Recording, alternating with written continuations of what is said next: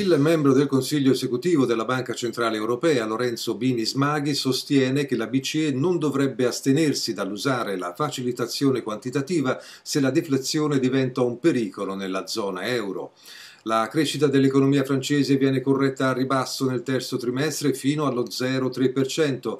Gli italiani devono rinunciare all'abitudine di usare contante dopo che il governo Monti ha deciso di ridurre la soglia massima di questi pagamenti da 2.500 euro a 1.000 per limitare l'evasione fiscale. Collegamento internet da Auckland, Nuova Zelanda, Maurizio Piglia, direttore degli investimenti della banca Savings and Investments. Buonanotte a te Maurizio. Buongiorno a voi. Non capisco la discussione quasi religiosa sul quantitative easing. È una mossa appropriata se le condizioni economiche lo giustificano, in particolare in paesi che devono affrontare una trappola della liquidità che potrebbe condurre alla deflazione, lo dice Lorenzo Bini Smaghi in una intervista al Financial Times. Bini Smaghi il membro italiano della Banca Centrale Europea, lascerà il suo posto alla BCE alla fine del mese. Dunque eh, la BCE parla di QE. Beh, appunto, essendo in uscita può finalmente affrancarsi dalla disciplina germanica della, della, Banca Centrale Europea e dire anche quel che non si può dire al, dall'interno, che alla fine che, che, comunque alla fine di fronte a una situazione deflazionaria si può fare tutte le, le, le si può tuonare di principio come fanno i tedeschi, ma alla fine poi appunto come, come ha fatto, come ha fatto la la, in questa settimana Draghi si rilasciano finanziamenti illimitati fino a tre anni, che è una forma surrettizia di quantitative easing. Che, che ci sia chi ne dice ma è un prestito, quindi come tale il, il saldo monetario è zero. È un prestito contro carta che fa ridere solo il pensiero che sia carta bancabile, perché dicono addirittura che eh, le banche potranno emettere loro obbligazioni a fronte o, o garantite da, da, nient'altro che la firma del loro amministratore delegato e andare a scontarle in Banca Centrale Europea. Quelli che dicono che il saldo monetario è zero perché è un debito, mi fanno un po' morire da ridere, insomma.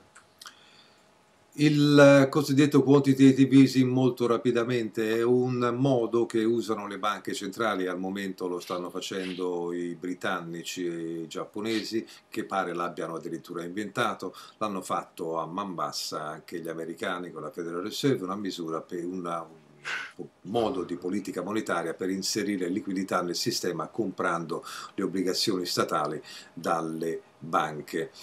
Binismaghi, fra le altre cose, appunto a fine anno lascia la BCE, ricorderete c'è stato un po' di polverone su questo perché Draghi diventava presidente i francesi con l'uscita di eh, Jean-Claude Trichet non avevano più nessuno alla banca centrale ed hanno spinto perché l'altro membro italiano, Binismaghi, appunto lasciasse la BCE a favore di un membro francese. Lui lascerà e prenderà una posizione all'Università di eh, Harvard per eh, gli affari internazionali e diventerà anche presidente della SNAM Trasporto eh, sempre dal primo di gennaio. Invece di ulteriore acquisto di obbligazioni, dunque la Banca Centrale Europea fino ad ora ha optato per oliare il sistema bancario con illimitata illiquidità fino a tre anni, sperando che le istituzioni finanziarie prestito, prestino denaro alle aziende e alle famiglie. La, la, la BCE ha eh, prestato un record di 489 miliardi di euro per tre anni il 21 di dicembre per evitare quello che viene definito un credit crunch eh, relativo conseguente alla crisi del debito sovrano. Non è stata una buona idea, Maurizio? È, una, è, classico, è la, è la, classica strada obbligata che alla fine ha tutta una serie di uh, unintended consequences, cioè di conseguenze mh, eh, non, non, volute e non controllabili del, dalla Banca Centrale Europea. Allora, il, le banche siccome si vedono diminuire il, il, valore dell'attivo perché gli si disgrega il valore delle, delle varie obbligazioni sovrane che hanno, hanno in, in, mano, a volte si, so, si, sono viste costrette, siccome queste obbligazioni non rappresentavano più eh, carta che po- si poteva rapidamente trasferire in, in, liquidità perché diventavano addirittura sospette di, eh, di, di di diverso valore, diversa valutazione, si sono trovate con il problema del, del non, non, avere eh, alcunché da dare in cambio di liquidità. La banca centrale ha fatto il suo dovere, nel senso ha fatto quello che p- poteva,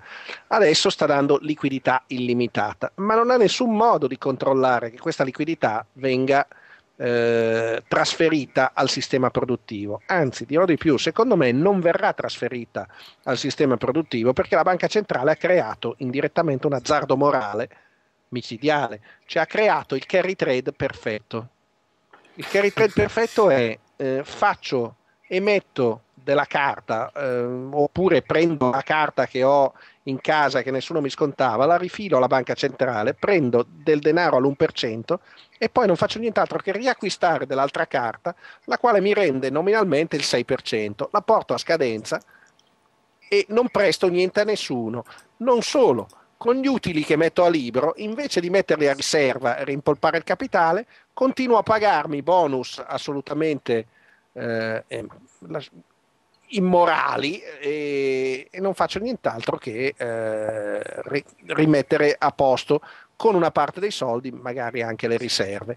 L'eccesso di riserva delle banche è proprio quello che è il, il, il risultato finale di quantitative easing, tra l'altro con, eh, scala, con una scala così ampia come, come quella di, di, di concessa dalla Banca Centrale Europea che presta denaro all'uno. Eh, questo, questo, denaro non va nel sistema produttivo, questo denaro va a rimpolpare e a ricontinuare gli schemi di Ponzi che le banche hanno trovato molto più eh, lucrosi e redditizi che non la loro funzione, la loro funzione istituzionale e quindi eh. non si fa nient'altro che alimentare un, un gigantesco carry trade per, fra l'altro di cui non devono nemmeno preoccuparsi del, del, del rischio di cambio. Uh, Maurizio, c'è un ci sono delle, dei limiti a tutta questa um, situazione no? che, che insomma, abbiamo descritto. So, nel senso, insomma, le, le, banche fanno bene poi a comprarle queste obbligazioni dei paesi che nessuno vuole, oppure no, perché adesso la resa di conto qualcuno le deve comprare. Le banche potrebbero contribuire a far abbassare il costo dei finanziamenti. Allo stesso tempo, sì, come tu dici, no, si finanziano a costo basso per poi investire in qualcosa che ha rendi- dei rendimenti più alti. No. Luciano, la grande illusione, la, la grande illusione, la grande stupidaggine, la grande fregatura è che gran parte di questi debiti che vengono comprati, rifinanziati, eccetera, sono irrestituibili. Quindi come tale in teoria, o meglio in, in, in, in pratica, quel debito non dovrebbe valere niente. In realtà quel debito vale fino a che tutti credono che in qualche modo sia restituibile. Quel che è venuto a mancare di recente è, è oscillata e vacillata la fiducia che quel debito sia restituibile. E nel caso di alcuni paesi, come ad esempio la, la, la situazione greca, è venuto eh, eh, palesemente alla luce che è irrestituibile perché lì addirittura mi pare che sempre nella settimana in corso abbiano addirittura sospeso tutti i pagamenti. Cioè, lo Stato greco ha dichiarato che smette di pagare i fornitori.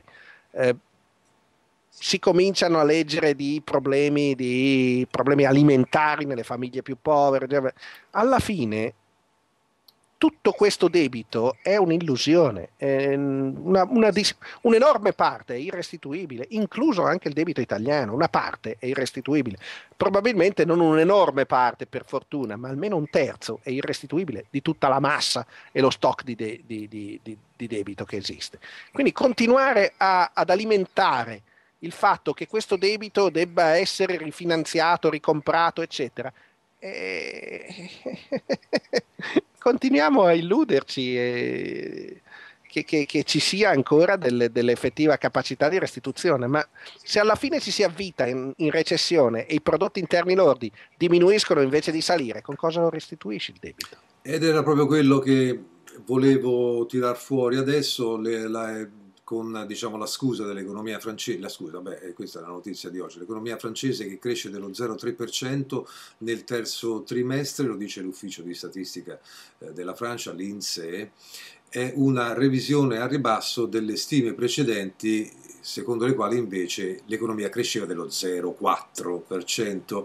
L'economia francese aveva segnato una contrazione dello 0,1% nel secondo trimestre, dunque quindi almeno ufficialmente eh, evita la recessione data almeno a livello tecnico dal due trimestri consecutivi con il segno negativo, cosa che invece, come abbiamo visto nei giorni scorsi, nei video precedenti, l'Italia non potrebbe fare, perché l'Italia ha un segno negativo nel terzo trimestre e prevede un segno negativo ancora più profondo nel quarto trimestre, dunque possiamo dire che con tutta certezza l'Italia è già in questo momento in recessione che come ben sappiamo iniziano le manovre che potrebbero ugualmente erodere il prodotto interno lordo e dunque causare una recessione più forte nei prossimi mesi. Confindustria stima un meno 1,6% per i primi sei mesi del 2012, Maurizio.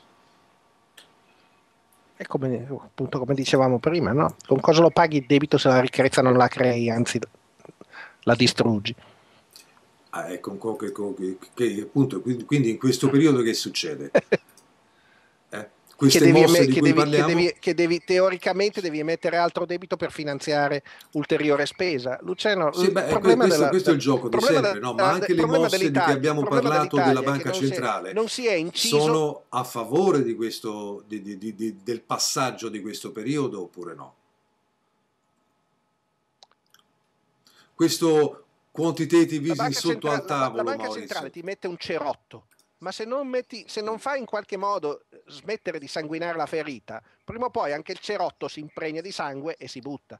Il discorso è semplice, il, eh, mano, le manovre governative fatte fino adesso hanno inciso soltanto, non hanno inciso sulla spesa, non hanno inciso sulla spesa strutturale, hanno inciso, hanno cercato di alzare le tasse e quindi di continuare a finanziare questo assoluto eh, falò che brucia la ricchezza degli italiani. Se nessuno vuole mettere le mani sulla spesa, se nessuno mette le mani sulla spesa, mm, anche il cerotto della banca centrale durerà quello che dura. Spesa intesa come? Spesa per l'Italia intesa come corruzione, sprechi, eh, privilegio, mettendo le mani su quello si avrebbe quantomeno una, una reazione anche dall'opinione pubblica. Hai bisogno di una ricevuta? No, perché se non la vuoi posso fare uno sconto, insomma ci mettiamo d'accordo. Fornitori e clienti sono complici nell'evasione fiscale in Italia i fornitori scaricano la tassa sul cliente che finisce per preferire di pagare meno senza preoccuparsi che la transazione non sia correttamente riportata. Il Presidente del Consiglio Mario Monti vuole che i proprietari di case che ricevono gli affitti, gli idraulici, gli elettricisti, le piccole aziende smettano di essere pagati in contanti perché è un modo per evadere le tasse. Il governo il 4 dicembre ha ridotto il massimo consentito per le transazioni in contante a 1000 euro da 2500 euro.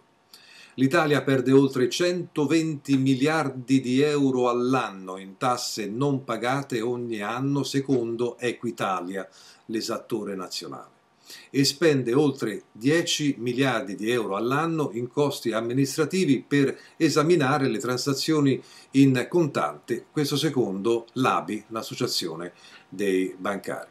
Questa è una buona idea? È un'idea stupida in questo senso. Eh, cura un, un, sintomo e non va a curare il, il, la causa. Allora, ti faccio un esempio banale. In questo paese, cioè dove sono io, in Nuova Zelanda, le spese, se hai un'azienda, sono deducibili. E nessuno si sogna di dedurre il cane, eh, eccetera, anche perché eh, l'auto, per esempio, se hai un'auto che è finanziata dall'azienda, è deducibile come spesa dall'azienda, ma è tassabile su di te come reddito e tranquillamente allo stesso identico, eh, alla stessa identica aliquota di reddito eh, del, del, eh, de, dello stipendio normale. Quindi alla fine non esiste evasione, cioè dice sì, ho, la, ho l'auto aziendale, la intesto all'azienda così eh, scarico e vado. Cioè, No, perché l'azienda scarica, ma tu la paghi esattamente come se fosse una retribuzione. Quindi eh, tu, i conti per il governo tornano. Ma soprattutto il governo, con il sistema del rendere deducibile il tutto, rende eh, interesse di tutti gli attori del, del, del cerchio di emettere le fatture, non di nasconderle. Allora, il governo italiano, che ha reso indeducibile qualsiasi cosa, ha tolto qualsiasi interesse agli attori del, economici a emettere la fattura e adesso è costretto a misure eh, da, eh, da, da, da, stato di polizia dicendo basta transazioni in contanti perché? Perché per forza che tutti transano in contanti perché hanno, hanno, tolto qualsiasi interesse all'emissione della fattura perché? Perché tanto non è un documento, è un documento che loro stessi non rispettano tu prova ad allegare le fatture delle tue spese dicendo ma io queste le ho, le ho spesi davvero e, e, posso documentarvi che li ho spesi per, per, per, uh, per, lavorare, no, non ci interessa perché tanto comunque non, gli, non glieli facciamo deducibili. E, sai, il, il, governo quando è stupido poi si avvita nella sua stupidità. Eh. Sai che ha detto Monti? Ha detto quello che abbiamo bisogno è una rivoluzione che non, eh, eh, cioè, esiste, esiste, un, es, esiste, un, detto che è beware what you wish, fai molta attenzione a quello che, che, a quello che chiedi, potrebbe avverarsi. Abbiamo bisogno di una rivoluzione nel modo di pensare degli italiani, questo ha detto, in questo senso la rivoluzione. E per far questo ci vuole tempo, ma questa cosa del contante, il limite al contante, questo potrebbe essere un primo passo. Eh, a torto? Vuol dire, gli italiani hanno bisogno di cambiare il modo in cui pensano? Beh, in parte ce l'hanno sempre avuto, nel senso che se fai conto che per eh, i primi anni ruggenti del, dell'era Berlusconi la, l'ammirazione per il, per il, soggetto era che, che siccome, siccome si era eh, fatto da solo, senza contare le regalie del suo amico Craxi, piuttosto che tutta una serie di eh, eclatanti evasioni fiscali e tutto, alla fine c'era comunque i suoi sostenitori dicevano, eh vabbè insomma, se va del fisco poi lo fanno tutti, no, lo fanno tutti accidenti. Cioè il, il fatto che in Italia se eh, cerchi di eh, far rispettare la legalità vieni accusato di giustizialismo è abbastanza eh, un'anomalia tutta italiana. Da questo punto di vista sono abbastanza d'accordo con lui. Gli italiani sono gli abitanti della zona euro meno indebitati e anche fra i più grandi risparmiatori, secondo i dati dell'Ufficio di Statistica Europeo, l'Eurostat. La loro frugalità però potrebbe essere almeno in parte legata alla sfiducia di pagare con qualsiasi cosa che non sia appunto i contanti. I, um, gli italiani che hanno una carta di credito la usano in media solamente 26 volte per anno o 5 volte meno di quanto una carta di credito viene usata nel Regno Unito secondo i calcoli della Banca d'Italia. No, intendo dire, eh, Maurizio, in, effetti questa cosa della carta di credito non, non, non ti è abbastanza chiara che, cioè, qu- quanto la usi tu? Tu vai a giro con contanti nel portafoglio eh, a Oakland no. quando esci, cioè, oppure paghi praticamente tutto con la carta di credito?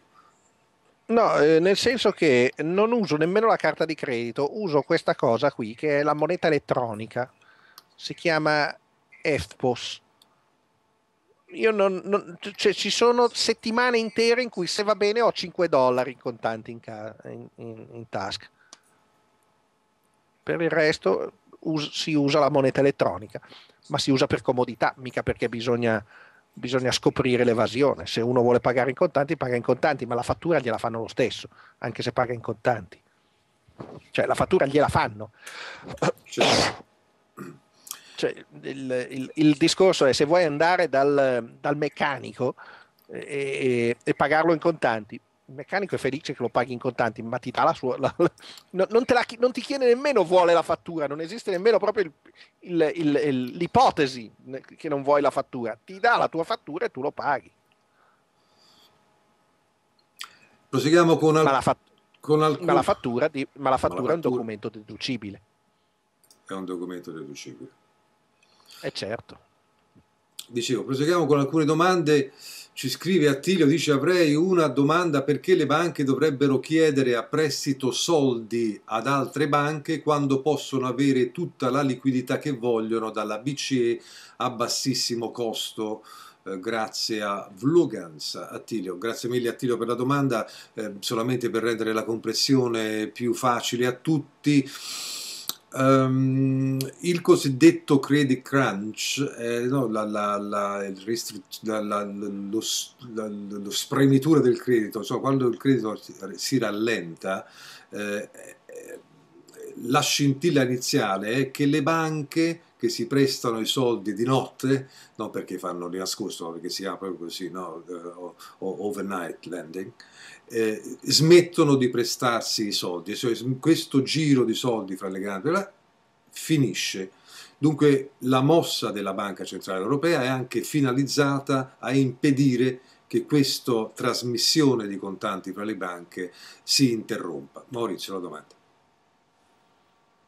perché devono prendere, ma è semplicemente perché se la pre, tutti la prendessero a, a costo bassissimo o anche a costo altissimo o comunque a costo dalla banca centrale, eh, l'espansione ci sarebbe un'espansione della, de, de, della, massa monetaria e quindi si creerebbe, si creerebbe, inflazione. In realtà i prestiti interbancari servono semplicemente a fare in modo che chi ha un eccesso di cassa per quel giorno lo presti a chi ha un, un, un deficit di cassa per quel giorno e, e, e tutta le, la massa monetaria circolante rimanga la stessa. Perché? Perché chi ha degli eccessi li presta ovviamente a un tasso di interesse a chi ha dei deficit.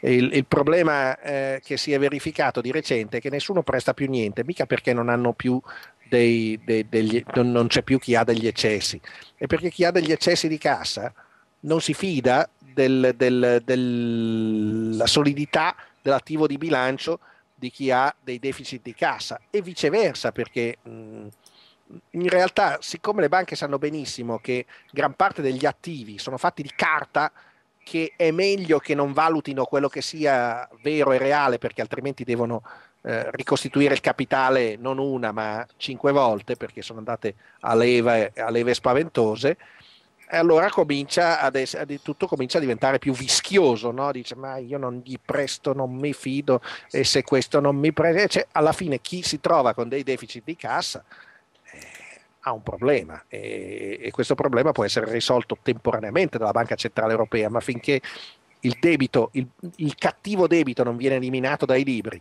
e non si capisce che, che cosa si sta leggendo davvero nel libro dell'attivo l'uno dell'altro, è chiaro che la situazione rimane questa. Eh, sarebbe più sano che, eh, che, funzionasse regolarmente il mercato del credito che non andassero a prenderli dalla banca centrale. Chiedo a Luciano, a uno dei suoi ospiti, di chiarire come, lo chiediamo a Maurizio, i circa 500 miliardi, 4,89, di euro erogati dalla BCE al sistema bancario siano stati generati dalla BCE stessa sia a mezzo stampa di carta moneta fisica oppure attingendo a fondi esistenti o agendo sulle regolamentazioni dei depositi delle banche o pigiando un bottone al computer. Poi Giorgio scrive ancora, dice mi scuso, integro questo mio quesito precedente relativo alle modalità di emissione di liquidità della, da parte della Banca Centrale Europea, chiedo di chiarire se la emissione di questa liquidità di fatto incrementa la massa monetaria e di conseguenza si realizza quanto formalmente aborrito dalla Germania. Grazie mille Giorgio. Uh, allora, il la modalità molto probabilmente è la creazione di eh, cosiddetti repurchase agreement, cioè eh, si, si, compra della carta dando, fornendo liquidità a queste banche. repurchase agreement che vanno eh, sì eh, nella, nella, massa monetaria, ma vanno nella massa monetaria M3, cioè si crea eh, in teoria ti dice chi segue, chi, chi, chi, fa la dottrina ortodossa, ti dice che essendo un debito, essendo comunque un debito perché prendo dei titoli a garanzia, ti do dei soldi, ma è scritto che quei soldi me li restituisci, nel bilancio tu iscrivi due partite, quindi il saldo alla fine, il saldo monetario è zero perché tu hai un'entrata tramite appunto un deposito alla banca centrale, ma hai questa, questa entrata ti causa a, a, termine del deposito ti causa una, una liability. In realtà il problema è che nell'ultima emissione di denaro, eh, per esempio illimitato a tre anni, il, eh, il problema è che la, la, qualità della carta non è più limitata a carta che effettivamente bisogna tenere come titoli di debito statale, eccetera, è stato detto nell'ultima regola che le banche possono autorizzate anche a emettere obbligazioni proprie e a scontarle alla Banca Centrale Europea. Cioè improvvisamente banche, alle banche viene dato il, la possibilità di, ehm, con un tratto di penna del Consiglio di amministrazione, di creare dei titoli che siano scontabili. Garantiti non dallo cre- Stato garantiti dallo Stato, quindi garantiti dalle, dalle tasse. Il tutto è poco simpatico come, come deroga, però il, i, tedeschi il fa, per, poi... i, tedeschi per, ora non si sono ribellati. il fatto poi come questo denaro venga creato ci interessa o meno, se pigiando su un bottone o stampato in effetti fisicamente per lo, più, per lo più diventa creazione di depositi, cioè pisando su un bottone. Ci interessa soltanto sul fatto che se dovesse essere stampato fisicamente ci sarebbe un, un gap di tempo e ci sarebbe un costo effettivo di stampa, cosa che non c'è, vengono creati dei depositi presso la banca centrale, quindi si pigia un bottone. Insistiamo ancora sulla massa monetaria con la domanda di Sandro che dice la massa monetaria europea M1 non dovrebbe salire o scendere proporzionalmente al PIL? Se la M1 non sale in maniera proporzionale al prodotto interno lordo, è ovvio che prima o poi arriva il collasso del sistema monetario, perché la moneta circolante è data solo dalla M3, che sale esponenzialmente composta quasi esclusivamente dalla moneta creata dai prestiti debiti. Dove posso trovare studi in materia? Grazie Sandro. Beh, io direi che su internet si trovano eh, abbondanti informazioni su questo, anche sui siti delle banche centrali, prova. Eh, dunque, M1, M2, M3 ci dà, eh, Sandro, in ogni caso anche modo di specificare bene che cosa sono. Io credo già facendo quello riusciamo a dare una qualche risposta a Sandro perché insomma la sua domanda appare dire, leggermente eh, un po' confusa. Cioè. Sì, sì. Eh, eh diciamo che M1 è la somma delle banconote in circolazione e dei depositi overnight delle banche, cioè eh, il contante in pratica. M2 è la somma di, del contante, cioè di M1, più i depositi che maturano fino a due anni, i depositi nelle banche, e i depositi che siano eh, utilizzabili eh, con un preavviso al massimo di tre mesi.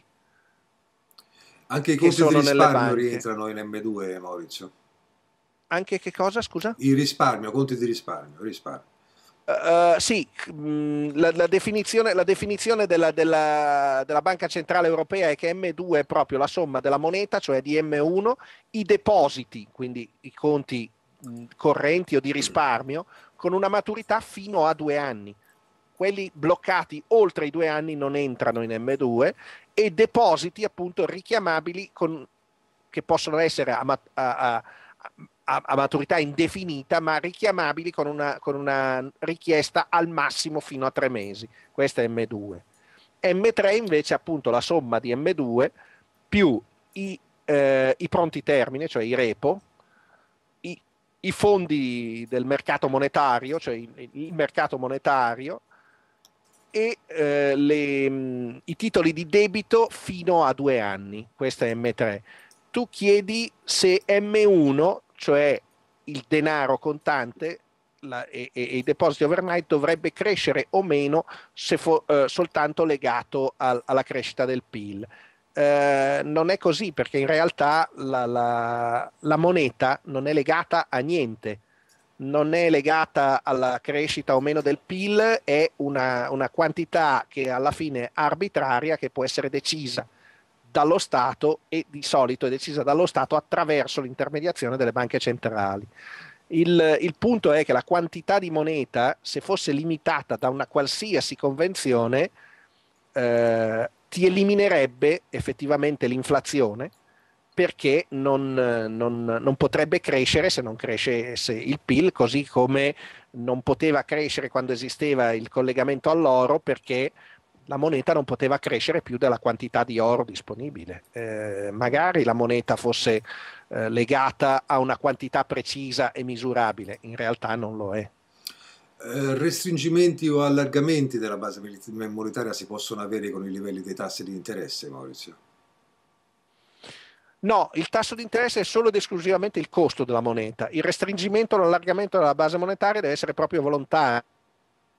La quantità di moneta può essere fatta salire eh, perché M1 sta relativamente stabile? Perché è più comodo, più facile. Nell'epoca, nell'epoca dei trasferimenti in un'epoca come questa, dove l'elettronica è imperante, è più facile creare depositi presso la banca centrale a fronte di operazioni di eh, pronti termine per, per, espandere quindi M3 che non mettersi a stampare fisicamente moneta.